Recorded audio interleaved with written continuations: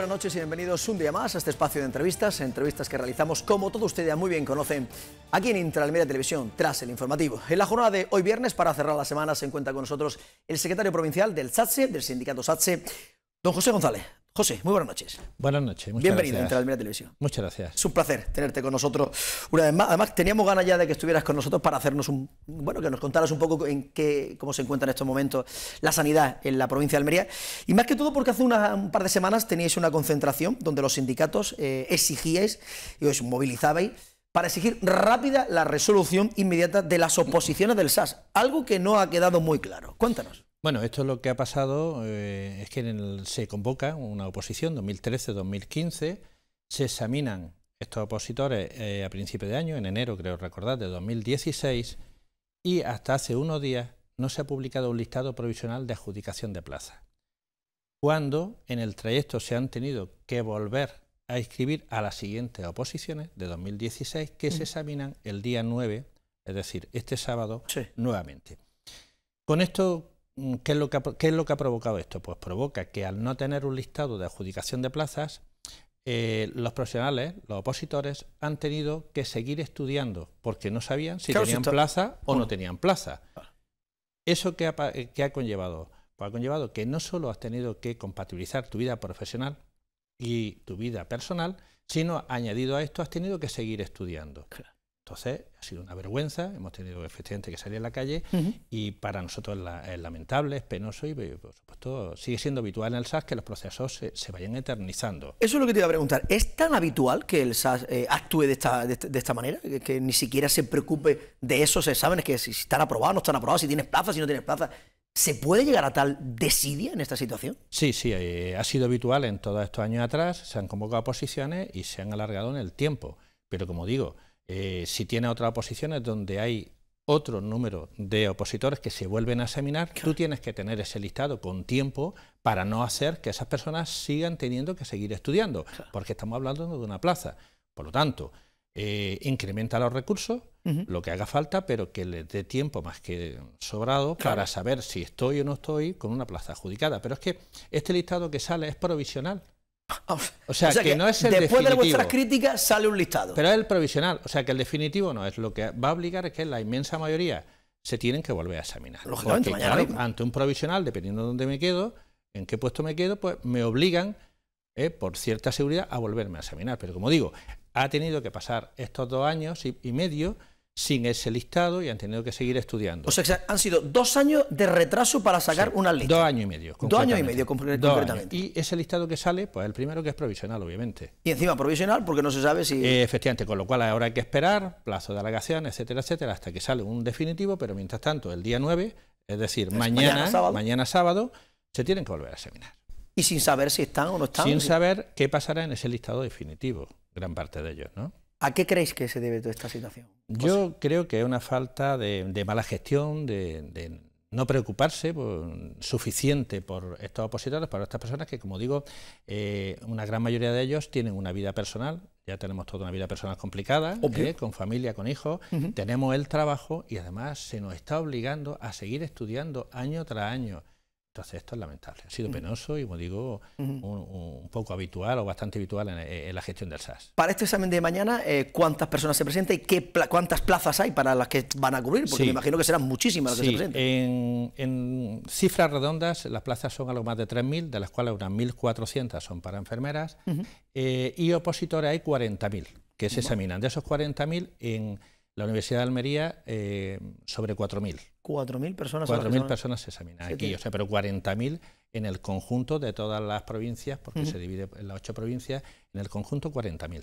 ¿Y esas son las plazas que necesita el SAS en estos momentos? No, vamos a ver, aquí se necesita mucho más. Mm, Si partimos de, de plazas, eh, vamos a partir de lo que son, mí me gusta recordar lo que son Sí, los, sí, sí. los presupuestos. ¿no? De Clarísimamente. la financiación. Además que siempre que financiación de- vienes, vienes con datos clarificadores para dar a entender qué es lo que está pasando en la Sí, situación. vamos, la financiación en salud, o sea, lo que destina la Junta de Andalucía a la Consejería de Salud, vuelve a situarnos otra vez en, en- en la comunidad autónoma, la última de toda la fila de las comunidades. Es decir, lo que destina son 1.166 euros por persona, mientras la media está en 1.400.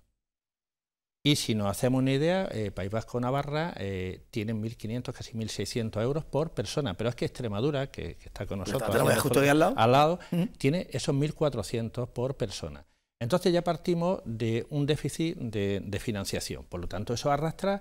Pues, ¿Y esa es la propia comunidad la que pone esa restricciones? Sí, sí, sí claro, en las partidas que, reparten las distintas consejerías. Entonces nos, nos deja situado al final de la lista. Somos la comunidad que menos destina eh, o sea, que menos destina dinero por persona. Eh, ¿Eso que nos lleva? Nos lleva a tener, pues, por ejemplo, un déficit de plantillas. Un déficit de plantillas que si eh, miramos el hospital, los hospitales, estamos hablando de que las enfermeras en Andalucía, pero en este caso también Almería, hay una media de 2,5 enfermeras por mil, habitantes, mil, habitantes, cuando la media es de tres enfermeras por mil habitantes en el Estado. ¿vale? Si nos vamos a Aragón, Asturias, otras comunidades tienen hasta cuatro enfermeros. O sea, tenemos un déficit tremendo de enfermeras. Pero es que para situarnos en más datos, desde el año 2009 al 2017, y esto está en el portal de la transparencia de la Junta de Andalucía, eh, nosotros, el SAR, Servicio Andaluz de Salud, se ha perdido de 26.000 eh, enfermeras que había, un poquito más, se ha quedado en 21.500 aproximadamente. 5.000 y pico más. Es decir, que hemos perdido casi 5.000, 4.000 y pico largas. Dentro de esas 4.000 400, 4.500 que se han perdido en esos eh, ocho años, ocho, sí, ocho años, efectivamente, la segunda provincia que más enfermeras ha perdido, o sea, más han recortado es Almería. La primera es Sevilla. Pero es que la diferencia entre Sevilla y Almería es que en Sevilla se han recortado 900 enfermeras con el nivel de plantilla que tienen, pero es que Almería el recorte ha sido 813 enfermeras. Entonces, claro, el déficit es tremendo. Si a esto le añadimos que en muchísimas ocasiones no se sustituyen a los profesionales cuando se piden, días libres. O sea, no hay plaza y encima tampoco se sustituye. Efectivamente. Entonces, partimos de una, de una muy raquíticas plantillas. O sea, que estamos hablando de que se ha perdido 800 enfermeras. Eso por ahí. Eh, luego tenemos mm, otro problema también que son eh, la atención primaria. La atención primaria se ha aumentado algo, las plantillas ahora ha dado algo de respiro, son insuficientes por supuesto, pero bueno, tienes las matronas que eh, el nivel, el número de matronas que hay en atención primaria, pues bueno, es ridículo, ¿no? Eh, estamos hablando de que había cuatro, luego se han aumentado algo más, que son nueve en total, y tenemos... Nueve en toda Almería, estamos hablando. Nueve en toda Almería. que 200 y pico mil habitantes en la capital almeriense. Que repartieron cuatro en el distrito de Almería, cuatro en el distrito Poniente y una en el distrito Levante Almanzora, que es la única que tiene en toda la atención primaria. Pero es que dentro de ese aumento de plantilla, de esa renovación de, atención primaria, los fisioterapeutas no los contemplan. Cuando tenemos eh, listas de espera de más de un año. Entonces, ya cuando nos, enseñaron su idea, eh, ya dijimos desde el principio que es que los de los fisioterapeutas tienen que estar incluidos. Estamos hablando de ¿Y cuál es la solución que te pone cuando, ah, cuando con la administración? que, lo, iban a ver, que lo tenían. Eh, estudiar. Eh, lo, tenían visto, que, pero bueno, la realidad es que no se ha incrementado a nadie. Por eso digo que si hablamos de plantilla, pues bueno, mm, estamos en situación límite. ¿Y esto qué es lo que pasa? Esto lo que pasa es que en los centros sanitarios cada vez se ve más tensión, más estrés, más sobrecarga, es cierto, y más indignación. ¿eh? Porque nosotros tenemos que adaptar las plantillas ya a, la realidad que tenemos. La sobrecarga es brutal. Brutal. Yo lo he padecido no hace tanto en una unidad con un familiar y es que van que, no dan más. Entonces, es urgente, es urgente ampliar esas plantillas, recuperar plantillas y adaptarlas a la realidad de nuestro país del entorno europeo. Obvio. Y después hay otro problema también que tenemos, que es que tenemos miles de compañeros y compañeras con una especialidad las especialidades no las desarrollan, solo hay dos del total que tenemos. Entonces tenemos profesionales, tenemos enfermeras con esas especialidades que no, mm, a, la práctica, no, tienen una plaza. Claro. O sea que estamos formando y estamos teniendo especialistas dentro de la profesión, pero no pueden acceder a una plaza porque no se crean esas plazas de especialistas. Ante esta situación, ahora no encuentro porque esto es a día de hoy. Y ahora viene el verano, que es cuando se supone que hay un aumento, y ahora viene la Junta de Andalucía y nos presenta el plan verano, con el plan de frecuentación, etcétera, etcétera. ¿Qué hay de todo eso, José? Vamos a ver, el tema de, verano, el tema de camas, que es donde podemos ir, ¿no? Eh, tenemos primero un, déficit de cama, eso está que ya lo tenemos que ya lo tenemos, con un materno infantil que, bueno, sí, que se habla mucho de materno infantil ahora, pero ya veremos cuándo Efectivamente, una cosa es que se termine, parece la obra van bien. Sí, no, se, ve, está viendo el esqueleto que está funcionando muy bien. Según nos dicen, hacia final de año y en los primeros meses estaría en funcionamiento, que es lo que pedimos, o sea, una urgencia porque camas mm, nos faltan, vamos, como como diría yo. Pero, eh, eh, en fin. no, pues el delegado viene aquí y nos comenta que ya no se miden las camas, que no hace falta, que no hay problemas de camas, que no, hay, que no hay ningún tipo de problema. No, la realidad es que nos faltan camas. Entonces eso se ve claramente durante todo el año. Pero es que cuando llega el invierno, el plan de alta frecuentación, cuando llega el mal tiempo, ya los pacientes que salen por la puerta de urgencia. Y a eso también nos falta plantilla. O sea, que es que no es que solo nos faltan camas, es que nos falta plantilla. Pero es que cuando llega el buen tiempo, el verano, en una zona que es costera, Almería es costera Se duplica casi. Se duplica la población. ¿Y qué hacemos? Pues cerramos camas. Como es que resulta que estamos sobrados de camas, cerramos camas en verano. Que luego le ponen con el epígrafe de em, en, reserva, en, reserva, porque estamos en obras o algún tipo de obra. Entonces, cerramos camas, eh, ya se nos ha hecho habitual las camillas en los pasillos, en la observación. Sí, una cosa ya normal. Tristemente así. Y cerramos en Torre Cárdenas 84 camas, tres plantas, la cuarta C, la tercera C y primera, si no me falla la memoria. Eso supone 84 camas menos. ¿Pero qué conlleva eso? Pues que nos ahorramos todas las contrataciones de verano, todas las sustituciones de esos profesionales, que en, eh, el tema enfermera se ahorran 11 enfermeras por planta, eso, eh, quiere decir 33, más luego el resto de profesionales que no sé cuántos son. Pero es que en Huercalovera volvemos también a cerrar este año camas como están haciendo habitualmente, 38 camas y también en el tema de enfermeras se deja de sustituir 13 enfermeras. Es decir, que lo que hacemos es un recorte y un ahorro. Eso se contrasta con lo que eh, hablamos muchas veces de las listas de espera. El último informe del Defensor del Pueblo de 2017, que se ha publicado en abril del 2018, ya está otra vez diciendo que una de las mayores preocupaciones de la población es el aumento de las listas de espera. Si cerramos camas, si cerramos quirófanos, si cerramos consultas de especialidades, la lista de espera aumenta. Por eso decíamos en algún momento que hasta hace unos años, hasta hace varios años, las listas de espera se publicaban dos veces al año, antes de verano y antes de final de año. De repente dejaron de publicar las de final de año. Nuestra deducción, pues rápidamente, los datos no son buenos. Hemos cerrado verano, claro. hemos quitado, hemos puesto en reserva como se suele decir. Sí, en reserva. Tantas camas, cerramos tantos quirófanos, que viene a ser el 50% de los quirófanos aproximadamente, eh, tantas consultas, etcétera, etcétera, y mm, bueno, la lista de espera tiene que subir.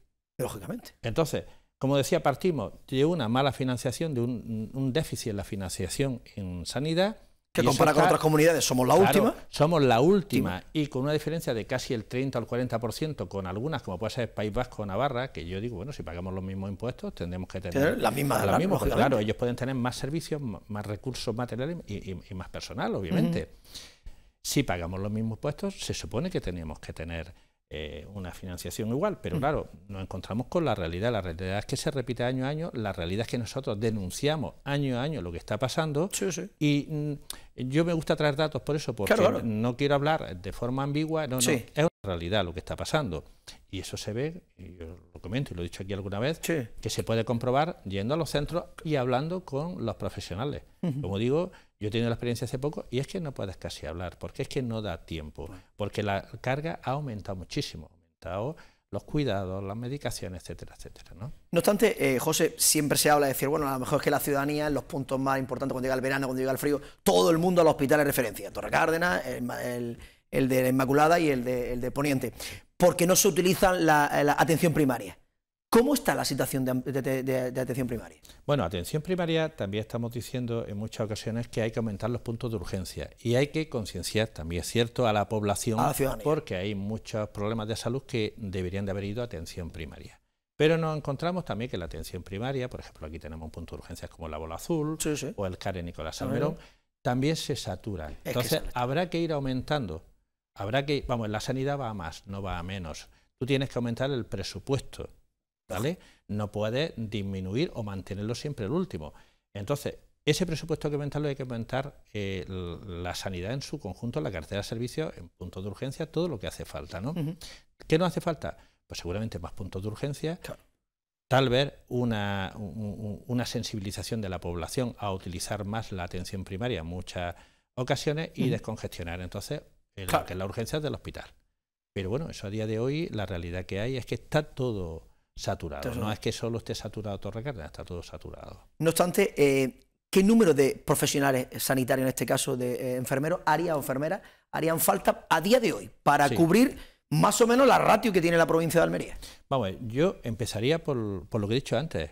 Es el dato que he comentado. Si de 2009 a 2017, que la sanidad va a más, no va a menos, eh, han hecho un recorte de 800 enfermeras, es decir, 4.500 en toda Andalucía, eso hay que empezar por ahí urgente. 800 para, para eh, empezar. Eso tenemos que hablar de ir incrementándola en todos los ámbitos, desde atención primaria hasta atención especializada. Pero que está todo, saturado. Enfermeras, enfermeras especialistas y fisioterapeutas. Hay que coger y hacer un plan para una hoja de ruta para aumentar esas plantillas.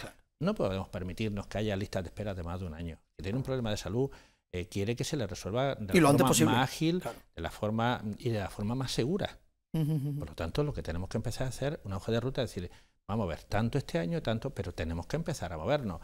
Pero bueno, a día de hoy lo que se ha incrementado, como decía antes, ha sido un poquito la atención primaria. Claro. ¿eh? Se ha dado un respiro. Sí, bueno, respiro 4, 4 y 1, tampoco es que el respiro sigue siendo insuficiente y el, tema de hospitales es urgente, urgente. Pero luego encontramos como el propio SAS eh, contrata plantas completas de los hospitales eh, de, privados que hay en la, capital almeriense. Sí, bueno, claro, tiene que, coger y, hacer acuerdo con clínicas privadas por falta de camas. Si es que la falta de camas es lo que venimos denunciando desde hace años. Es que ese materno infantil yo recuerdo cuando lo presentaron hace años, tenía que haber terminado eh, ya, me parece, en el 2012, por ahí. Creo recordar, es que de memoria no lo sé. Muy bien. O sea, que llamó un retraso de cama. En verdad era para 2005, pero bueno. Claro, también es cierto que perdimos el hospital provincial. Ahí teníamos 114 camas, también hablo de memoria, pero algo más de 100. Entonces, eh, aunque. Mm, eh, el materno ya vaya, gracias a Dios, terminando, pero claro, la provincia ha sufrido una pérdida de que era el hospital provincial, esas 114 camas mm, no hizo mucho daño. Claro.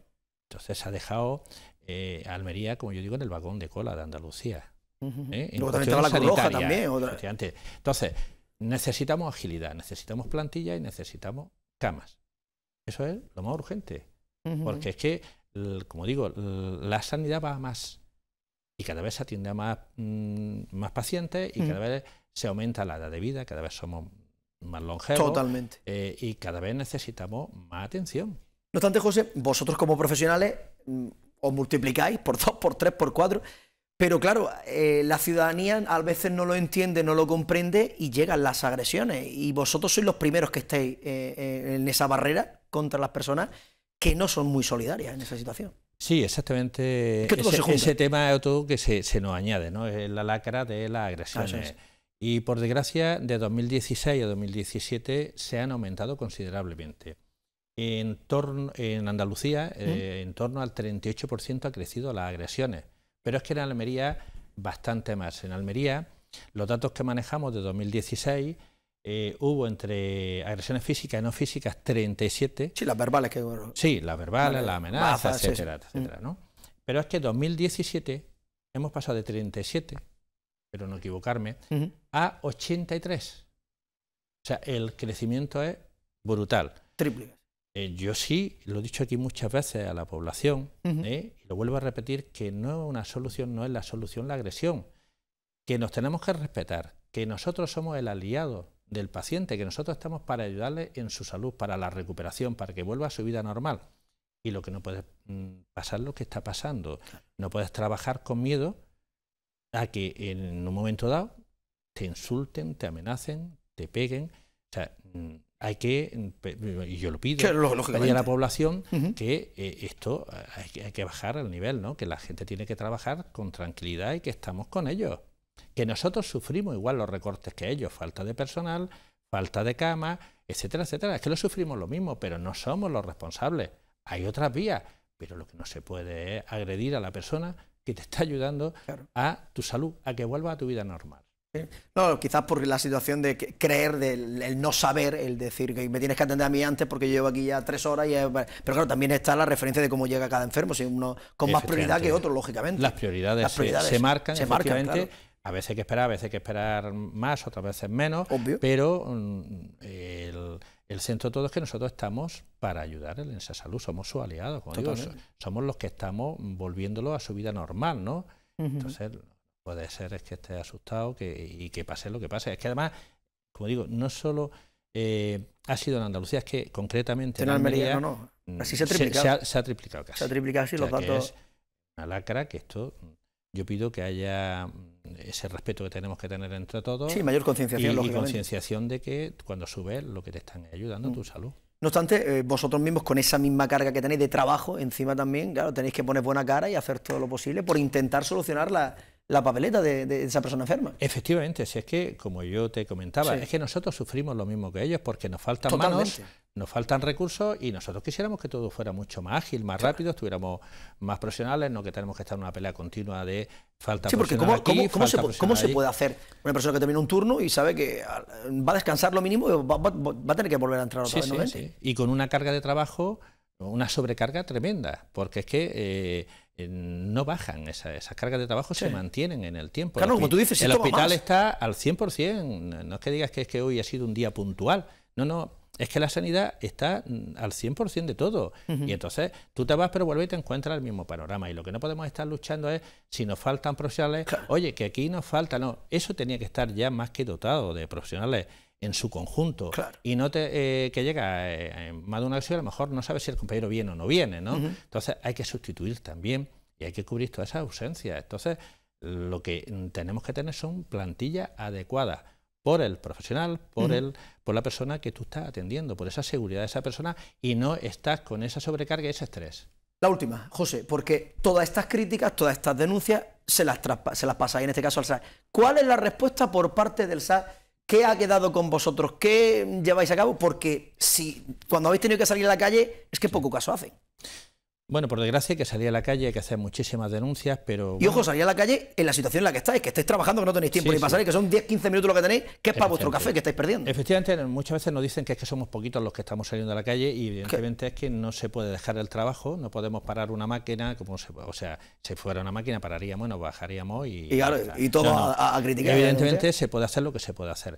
Eh, la crítica es continua, nosotros estamos en la crítica continua porque... Mm, eh, se mueven poco o arreglan poco, porque si no, no tenemos que estar eh, en los medios de comunicación en la calle. ¿Qué quisiéramos nosotros? Nosotros quisiéramos que todo estuviera adaptado y que hubiera cuatro cosas de pasillo.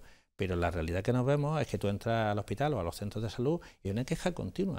Y no es una queja que dice, bueno, pues de una persona o es de dos. No, no, no. no, es en su conjunto. Es que eh, la tensión se, se, le ve a, los profesionales, ¿no? Hay esa tensión, hay ese estrés, esa indignación. Sí, las caras Y tú intentas, pues bueno, eh, diariamente en los despachos en Sevilla, pues mm, describir la situación. Además, los datos están ahí. Si no tenemos nada más que tirar de datos, de medias, de ratios y compararnos con otros, porque hay que compararse con otros sistemas de salud de otras comunidades autónomas y ver en qué situación está Andalucía. Andalucía en sanidad está de las últimas.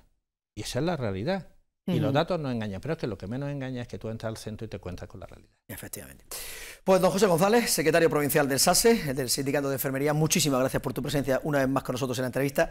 Sabes que tienen las puertas abiertas de Interalmería. Nosotros terminamos las entrevistas a mediados del mes de julio, antes de que venga eh, esa finalización de, esta temporada. Sí me gustaría que vinieras nuevamente para contarnos un poco en este mes cómo ha transcurrido más o menos el trabajo, porque ahora es cuando llega el verano y ahora es cuando también las cargas vuelven nuevamente a, ponerse encima de la Sí, sí, por desgracia volvemos otra vez al cierre de camas, sobrecarga y hay una situación que nos volveremos a encontrar con camas en los pasillos. Efectivamente. Eh, y esa sobrecarga, esa tensión, ese estrés. Y encantado de volver a venir y contar cuál es la actualidad, la realidad, porque yo lo que estoy contando es la, la realidad del día a día. Efectivamente. No se inventa aquí nada. Y además con datos, con, datos, que son lo que verdaderamente importa y lo que la ciudadanía sepa el trabajo que está realizando a cabo. Muchísimas gracias, José, por tu A vosotros por la invitación. Pues nada más, amigos, hasta aquí la entrevista de la jornada de hoy. Como siempre, nosotros ya volveremos el próximo lunes a partir de las 9 de la noche aquí en Interalmería Televisión, en el espacio de la entrevista. A todos nada más que nos queda desearles que pasen una feliz noche y un buen fin de semana.